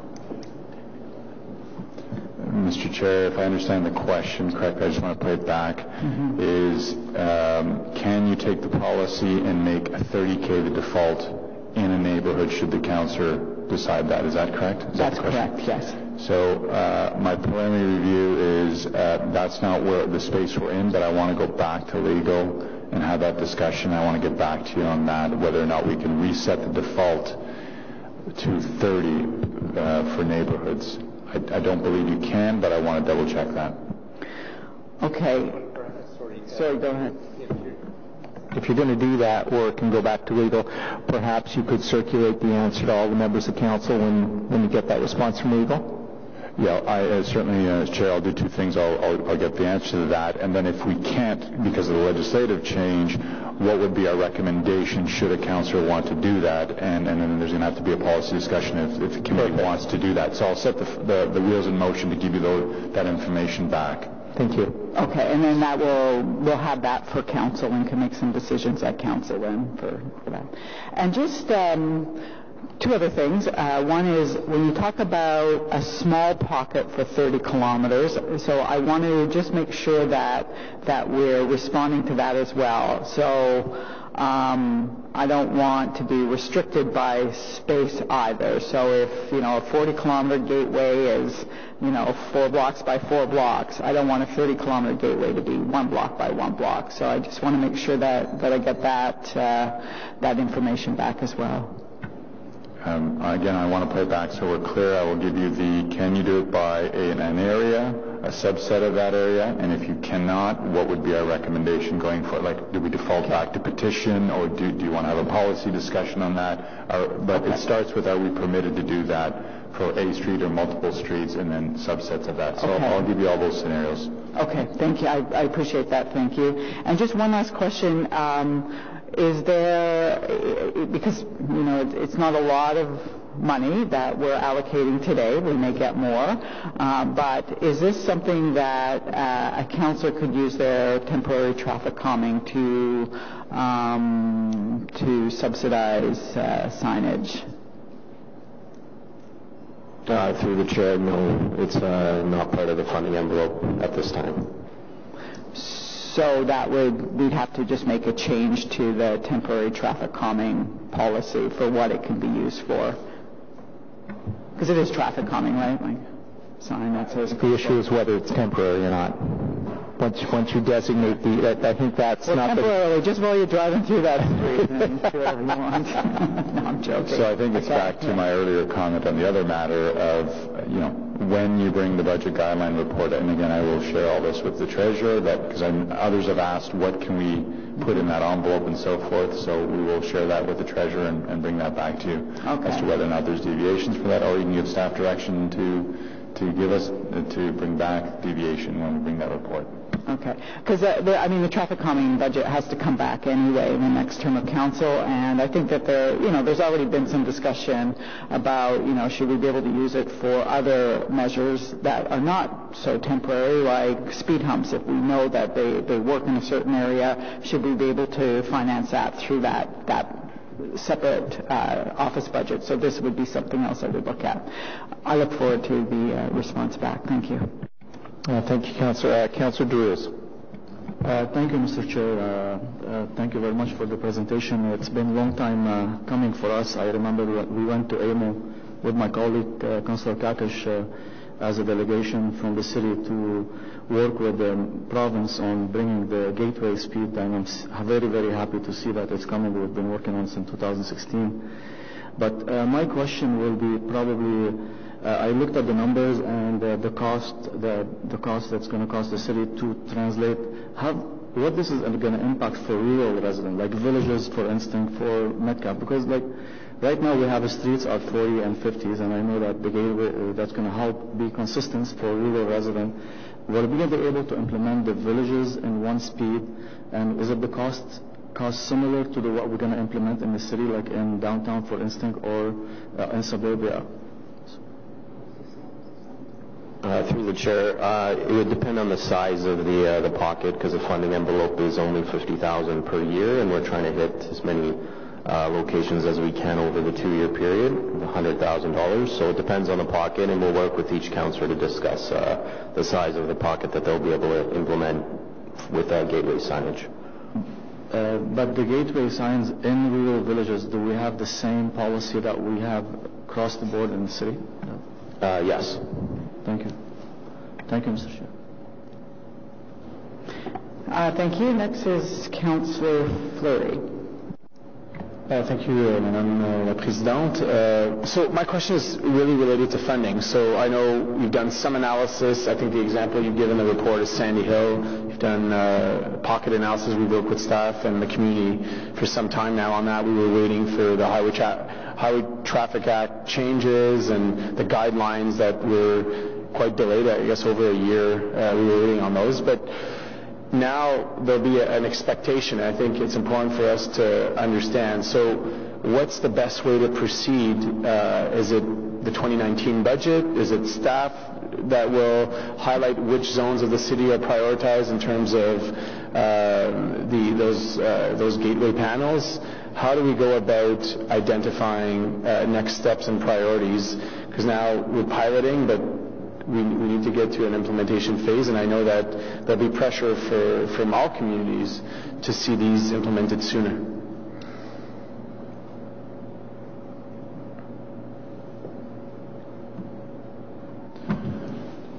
Councillor, I think the starting point is uh, assessing how, how many councillors want these pockets identified. We need to collect that data, so I'm just confirming Mr. Brinkman staff will uh, will visit each councillor to see if there's uh, a request in their neighborhood, and then we'll assess how far we can go with the 50,000. Um, and then if there's a gap, obviously that's part of the next term of council budget discussion. And uh, from a community standpoint, you're, asking the communities to work directly with their councillors on this? Like, what's the best? I, could just see a lot of interest. I mean, our media's here; they're going to cover it, and then we're to create a void, right? Where how do you go from an approval at committee and council to uh, identifying priorities, uh, recognizing that funding will be the nuts and bolts of the issue, but procedurally you're asking communities to work with their councillors and to the councillors to raise to Mr. Brickman and his team for their review, or is, is that the best approach? I think first cut, you know your wards better than anybody else. I think we come and talk to you. Is, is there is there a demand for this? Is there uh, what's your first blush at it? Uh, we'll look at the list. We'll map that against the 50,000 that we have, and then we'll we'll come back to uh, to our council via memo or something to say, look, here's the request and here's the gap or not, and put it through the budget process if we need more. Perfect. Thank you. Thank you, Councillor. Uh, um, Councillor Wilkinson. Yeah, just a couple of questions. One is if you get $50,000 for each ward, you're able to do more than one area within the 50,000. I have a lot of areas where there's only a few roads that go in, so you don't get as many signs. Not like the example you gave had a lot. I have one area I can do with three signs. We, we only have 50,000 citywide. That's, That's what we citywide. have. Citywide. Okay, how much is it per sign, double sign? Through the chair, uh, one sign is around $300 to implement. So the two signs you need would be about $600. That's correct. And I, and I agree with Councillor McKenney that if we could use some of our traffic calming, I, I think I've got enough signs on the road painted what the speed limit is and things now to last me forever. Um, there's so many few things we can do with that money. It's it's really very difficult that way, and these are things I think are highly desirable. One of the things I have a problem with is Kanata was always 40. So in many areas Kanata was already 40. And then some of the new ones that started adding to communities are partly 40 and partly 50 because it, I think roads that changed that we had to we were able to get one of those changed back. So it is a little bit complicated in places. But the, uh, there aren't a lot of Kanata because of its terrain. There tend to be not a lot of connect, cross-connecting streets, so there's not as many signs required. Um, the other one is new development. I've got two new subdivisions underway now. They put a clause in there about getting traffic calming signs, whether this would be or not. This is two subdivisions together. There are only going to be two roads, I think maybe three, but I think only two connecting out of it. So to get that in, can we make the developer put these in as they're building these new communities so that the city doesn't have that cost initially? Uh, through through the development process, um, they they actually fund new signage in their communities once they're built and we get final acceptance. So they flip the bill for that. So we will we will charge the developer back for any new signage. So any new subdivision that's built will automatically get gateway signage. So the ones that I have under just getting started now, I could let you know where those are and you can put them on the list. Or who's going to make them do that? Because sometimes I find these get missed. Uh, the city the city will do that. We'll do that Please through Who in the city? uh, our office. Your office. Yes. So if I let you know where those are, you can say those streets are going to have to have these signs on initially. Correct. Because we might as well try to get as many of those as we can for the new areas. And we'll, we'll continue to do that through the, uh, the, the development process. We'll sign these subdivisions as they get final acceptance. And if there's a subdivision tacked on to another one, um, and they, uh, the other entries of that area are not signed, how are you going to handle that? Uh, if it's a new subdivision that was registered with the city after 2010, those signs should be coming and we'll still be charging back the developer for those. So if there's two subdivisions side by side, we'll work in conjunction with both uh, developers to get signage installed. But if there's an old area and a new area, how do we work at that? Uh, the older areas would have to follow the process in terms of prioritizing with the existing funding. Because what the new area could have it just for that new area, even though it's tied, tied together. That's correct. Okay, thank you. Thank you very much, Councillor. Councillor Deans. Thank you, Mr. Chair. Um, on your areas where the uh, signs are being posted at 40, are those roads being designed um, to accommodate lower speeds than the traditional uh, streets were? Uh, if there are local roads, they are they are designed with uh, with a uh, smaller cross section and more frequent driveways, um, as well as parking both on both sides, which helps to reduce the speed of traffic. If parking isn't utilized, the speeds do tend to go up, but they are under that consideration when they're being developed. So they are designed differently than, for example, in my ward where the roads were designed 30 or 40 years ago. They, they're a lot wider. I'm just wondering um, if posting 40 instead of 50 uh, in those neighborhoods is going to have any impact on actual travel speeds. Um, through the chair, uh, we are we're trying to approach this with a consistent uh, message that all local roads and collector roads operating at 40 will have that 40 kilometer hour speed limit, which gives uh, police more of an effective tool to enforce speed limits in local roads and collector roadways, uh, as well as uh, drivers' ex- expectations when they enter new communities. So currently the default speed is 50, is that right? That's correct. And is that still appropriate? I mean, what I seem to be hearing is the desire to make the default speed 40. Uh, the default speed is only suggested on uh, like major collectors when they're unposted and, and, arterial roads when they're not posted. Uh, that's why this policy is being brought forward to, to change the local roads down to local and collector roadways down to 40 kilometers an hour. Everywhere across the city. So you can't just make a default policy that says all local streets are going to be 40? Well, that would change the, the speed limit on all of our unposted uh, arterial roadways and collector, major collector roadways as well. Uh, this is the guidelines that were suggested through the province. Uh, we worked on a steering committee with the province to develop this policy, and this was uh, what all municipalities, or most municipalities, wanted to go with, was creating gateway signage where they can create 40 kilometers. Okay. Um, I'm just interested in how you're going to define neighborhoods, because I think of some of the neighborhoods in my ward, and they're vastly different. Um, and some of them might be much larger than others. Um, so you said that you had done some preliminary work. Could I see how you have defined the neighborhoods in my ward, perhaps between now and council? Uh, absolutely. We do have maps for every ward that we've created, which show the pockets. Uh, there are over 1,500 pockets that we could sign with gateway signage. Uh, some neighborhoods are, are, very large and some are smaller, one street, for example. Um, but uh, yeah, we do have that information that we can provide to you and councilors. Okay. Yeah, because I think it's important to have a, a sense of how that would be delineated throughout the ward. And um, the other thing I was a little bit concerned about, it seemed to you seem to have some um, weight on um, what the ward councillor said, and the process that we use right now um, puts the onus on the community to make a decision about that. And it seems like you've moved away from community consultation around signage and speed limits um, to put the onus on the councillor. Now, of course, the councillor can do a consultation if they choose, but maybe they won't. And it may, to me, it just sounds like we're taking um, taking. Councillor, could you talk a little bit closer to the mic? Sorry. I'm just being quiet today, I guess. Um, I, I, just I, I don't want to take the onus away from the community and just give it to the counselor.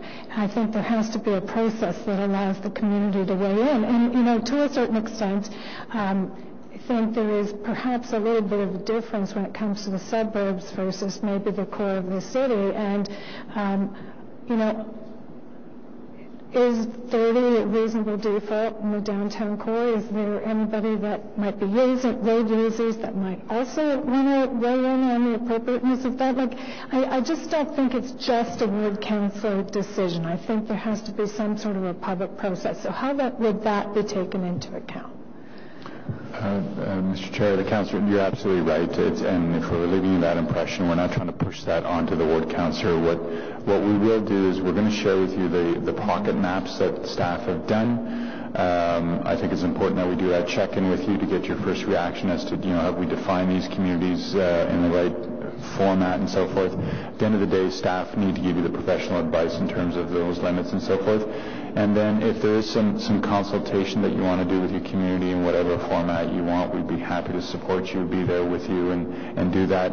I think, I think when you look at it globally, a lot of it will be very obvious and straightforward, but there are there are distinctions to each ward and each neighborhood and subsets of those neighborhoods that we need to reflect, and it's not one size fits all. And I think you're going to, if you're going to want to consult a little bit and take your time on this, absolutely, we'll, we'll support you. The staff are, are great in that regard, and, and we'll work with with each councillor in the uh, unique, distinct communities the the road, you know, I came from a municipality prior to amalgamation where we posted 40K for exactly the reason that staff are talking about and speaks to your point about enforceability and so forth. And there were very unique uh, situations where grid neighborhoods were easy to to sign versus, you know, Qualicum Woods where it's a maze and you get in, and you can't get out, no clear entry and exit to that community and so forth. So I understand exactly what you're talking about. Uh, I've lived those uh, those signage issues and I think staff have done a great job of, of the first cut. We consult with you. We, we can then start to look at uh, sequencing, priorities, and, uh, and timing. And then I think we separate the 30K as a, as a subset of that discussion. Let's stay with the 40K, and then we follow up with the other pieces also. Okay. And just one last question, and that is, how did you define a like, how do you define a neighborhood? Are they sort of all similar size, or some of them massive and some of them small? Um, we, we didn't really define it by neighborhood. We defined it by, by pockets. So a pocket is created based on the boundary uh, boundary roads. Um, collectors being the, the cutting point of that, and we're signing all of the locals that are bound by, by collector pockets. So if you have a collector on the north, east, west, and south of that, all of the local roads within that area would be defined as a pocket, and that's not necessarily a, a full neighborhood. It would just be a pocket within that within that neighborhood. So it all depends. They're all unique. Uh, we'll provide you with, with what, what your map would look like for your ward, and we can discuss. Uh, possibilities of signing, signing each community. Thank you. Thank, thank you very much. Uh, Councillor Chernushenko. Thank you. As happens when you're lower down on the list, a lot of the important questions have been asked here. I think um, to reiterate some of what we're hearing is um, we, we, are all likely to hear, uh, first of all, I, am glad that each ward is getting an allocation because then we don't have the fight between wards, but what we will have is, in a sense, the battle within wards um, where we have many communities, all of which believe they need calming and all of which probably do. Uh, and so our great challenge is going to be to identify which ones go first and in what priority and ultimately um, make some people happy and, and, and, even more people not happy uh, in, in the first round. Um, there's been some discussion already about what um, criterion are, are being used. I'm wondering if we're to take an example of the glebe where there has been a long-standing program of rolling out, in a sense is almost a decade ahead of um, some parts of the city where there has been a movement towards 40-kilometer zones. That was something that was approved by council, I believe, well over a decade ago. But because of the cost of putting in the signage, it's been rolled out a few streets at a time. Um, is that something where you might have a neighborhood like that that is partway through this? Um, where you would, in a sense, treat that as a priority as opposed to others. Uh, I'm not looking for staff to give me the defense for how I say no to those communities that don't go first, um, but rather um, some sense of uh, why one may have been uh, picked first and, and certainly chronologically um, that a community has already been going down this road and is in a sense being assessed already. So that something that's going to, to, to factor in? And I guess part of that is going to be what, what do we do with the 40 kilometer hour signs that are already in on a number of streets? Is that something ultimately we'd say, we would say, well, they're there. It actually costs less to leave them there than to send the workers out to go get them. Uh, has anyone thought through that? Do, do we remove some, or do we just treat those that are there as being, well, that's double uh, doubling up, and it's a waste of money to, to go get them and bring them in? Is there any thought on those? So, Councillor, to your first part, I, I, just want to reiterate what I've been saying is I think that's the discussion that we want to have with you in terms of your ward, and we'll bring all that information as to where the existing 40K zones and signs are and so forth. On the take them out versus leave them in, we'll look at them on a case-by-case basis. In some cases, we could reuse the signs. If it's cheaper to relocate them, we'll leave them in. We'll do whatever's uh, common sense will prevail. Okay. And to the question, then, I guess, of, of, of chronology, uh, you know, communities that have already, in a sense, been pre-approved, is that something you, have already begun thinking of? Uh, roads that have already completed a petition process to get 40 kilometers an hour. Uh, we, we have been, been, implementing them. We're trying to uh, to slow that process down right now because we know that gateway signage is potentially coming. Um, at this point, we, we have put in signs uh, based on petition process as of last month. We, we are still taking inquiries for that. Uh, to, to, go back to the last point as well, the, the signs that are left in, uh, that are within communities, uh, that would no longer be required. Uh, we are leaning towards removing those signs entirely because it could speak to somebody traveling on that road uh, and turning off onto a road that doesn't have a 40 kilometer an hour sign and, and go back to the default uh, 50 kilometers, and, and, we're trying to be consistent by, by only uh, signing the roads on the perimeter of, of each zone. So we are in discussion with with uh, with our staff to, to come up with a process for that, and reusing the signs is, is ultimately what we're what we're looking at. Okay. All right, well, thank you. I know we will all have plenty of questions as in the actual implementation. I suspect this is going to be, uh, as they say, oversubscribed, uh, and, and, our challenge will be to walk through uh, a, a, sensible, logical process for our communities so that those that don't come first uh, are reassured that they are coming and coming in a timely fashion, um, even if they aren't the very first to, uh, to be signed in this way. Thank you. Uh, thank you. And the other way to do it, Councilor Chernushenko, is have a robust discussion at budget about whether we should be putting more money into this into this program, which would assist with dealing with the backlog. Um, uh, Councillor uh.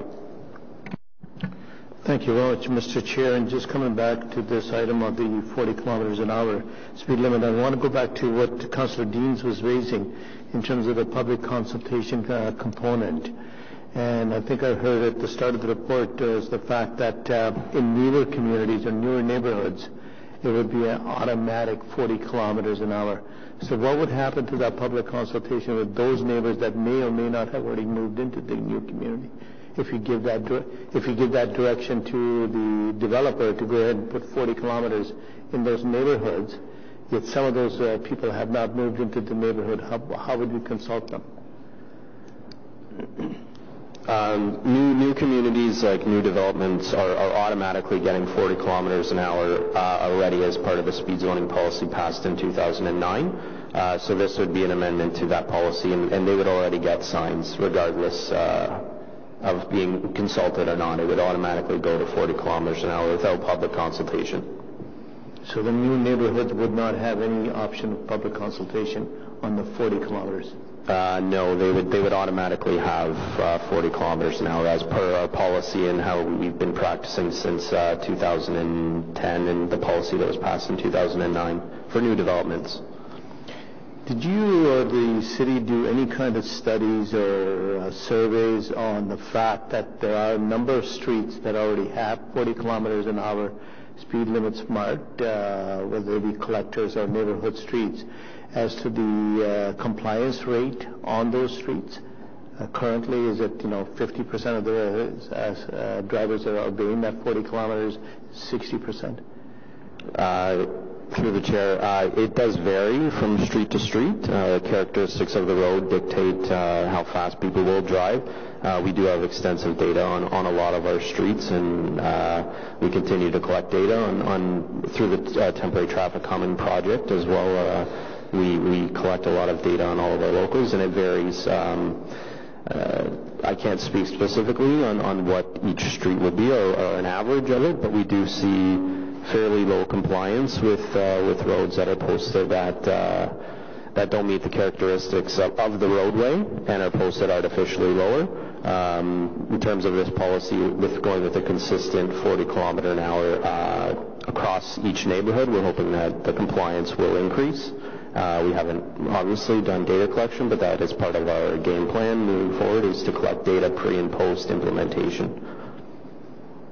Okay, thank you for that, because my concern is that you put any sign on the road that you like, 40 kilometers, 50 kilometers, it's the, uh, you know, the obligation of the driver to follow that speed limit. And I understand what Mr. Manconi mentioned earlier, that the police had a better tool to uh, enforce. But still, if the current signage that's out there on streets that is posted at 40 and people are not complying with that, are we creating a bigger issue? And that would be my concern. Uh, through the chair, um, I guess it could be that there is an inconsistency in, in, the way we post speed limit signs right now, that some local roads uh, who have gone through the petition process will have 40 kilometers an hour and then they turn off that road and there's, just, there's no signs at all or it's posted at 50. So uh, through this method of having a consistent approach for communities and pockets where they would be posted 40 and 40 throughout the community until they see otherwise, we're hoping that that uh, compliance with the 40 kilometer an hour speed limit increases. Thank you. Thank you, Mr. Chair. Uh, thank you, uh, Councillor. And I think part of the the answer to your question was said earlier as well that it um, there's another tool in the toolbox for the police. Right? If it's posted to 40 and you're going 50, then um, you know the corollary to that is we need to get the police out there more often. But that's that's a that's a different discussion at a different committee. But I think uh, to, to staff's point, it does does put another tool in the toolbox in terms of enforcement. Um, uh, Councilor Monette. Thank you, Mr. Chair.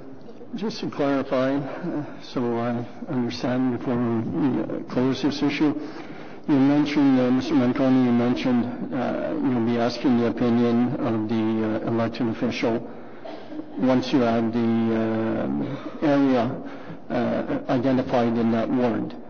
Now, that will not be final. You mentioned that there will be public consultation. We will meet with you. We'll show you the map of how we've defined these blocks, and there's there's methodology to those blocks, right? Because it has to be enforceable and so forth. And we'll ask for your advice. And uh, what I was suggesting, uh, based on Councillor Deans' inquiry, was if you want to consult with your community, you can go ahead and do that. We will support you in that endeavor in terms of consulting with that you know, I think you need to think through that because we've all done this enough that if you go out and ask a bunch of people what they think about a, a speed limit, um, you'll get a lot of different reactions and, and opinions. Uh, staff will bring forward the, the, identification of the blocks. You uh, uh, input based on a lot of the comments you've heard around the table today, priorities, what about this street, what about that street. So it's a bit of an iterative process.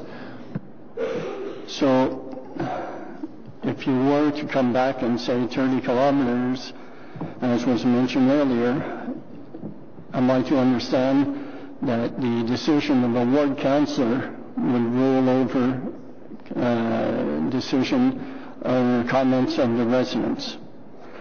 Because when you look downtown, it's not only residents that live downtown, you have people from the suburbs that uh, drive to the downtown core. Um, I would have difficulty if this uh, motion is uh, geared towards the council only without having an aspect that the public has a say into it also. No, I believe you're correct, Councillor. The 30K question is a separate issue, which what I've committed to is I'm going to talk to legal to get their interpretation of what was approved by the province as to whether or not the question from uh, Councillor McKenney was You've come back with what we asked to come back with, which is a 40K designated by blocks. The question she asked is, can I take that and make the default speed 30K, either within that entire block or a subset of that block? I need legal to walk me through that process to say, are we permitted?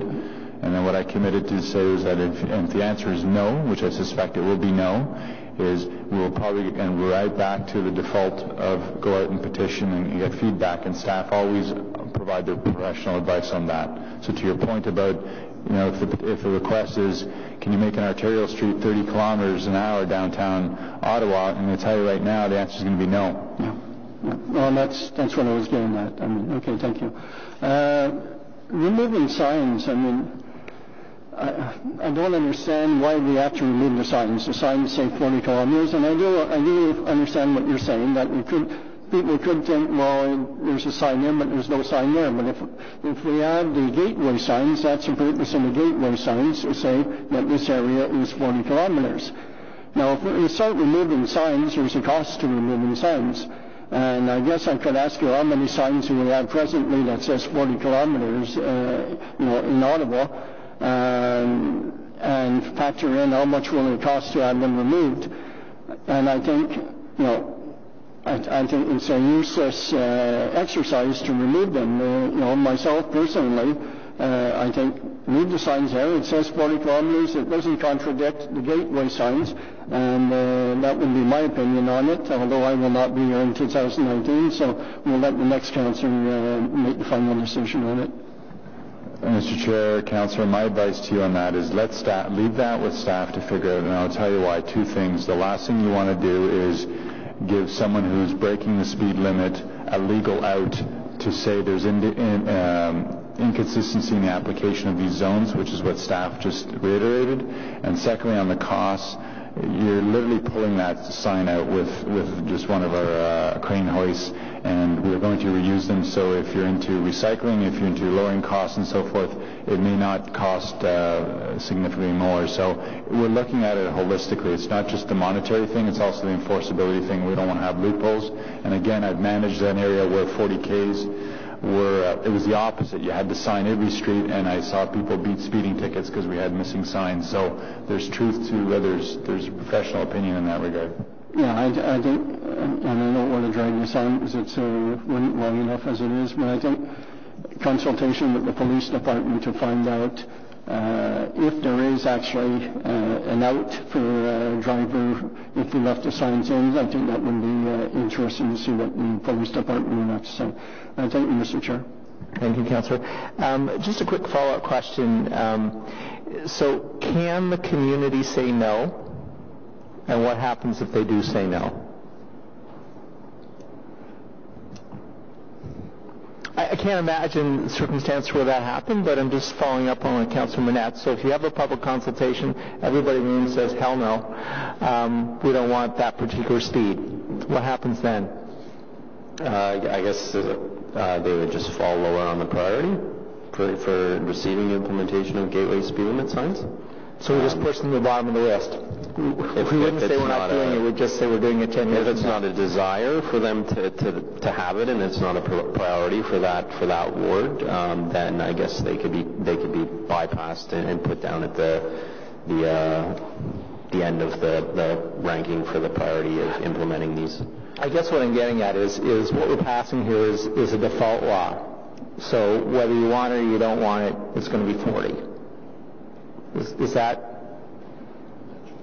Eventually. Sorry? Eventually.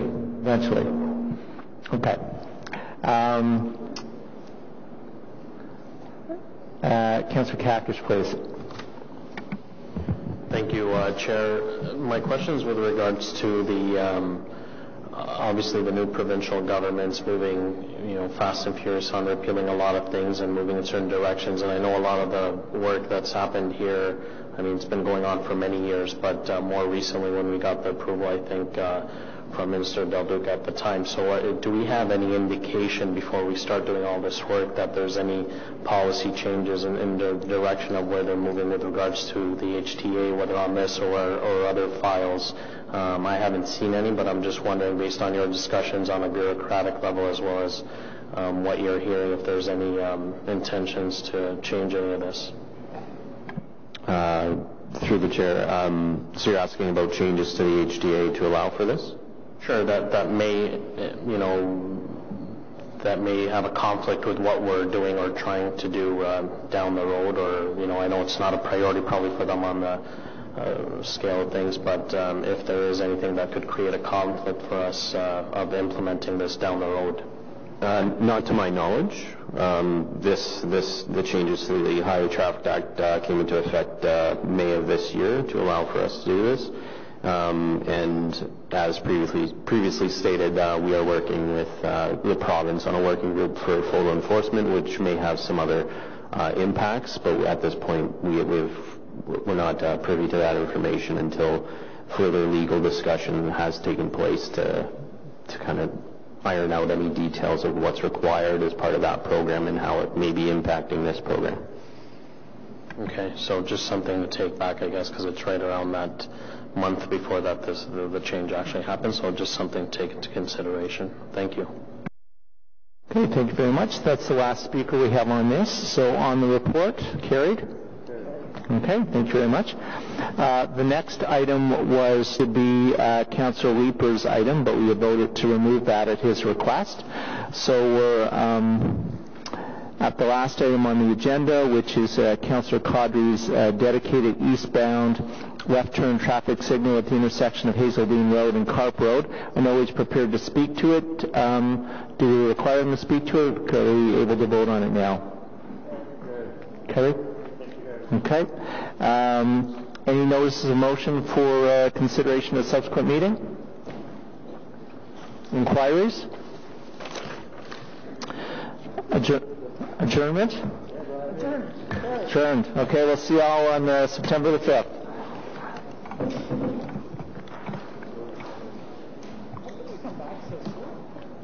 What? Because we had to move this one because of quorum. We had to move because of quorum. Hmm?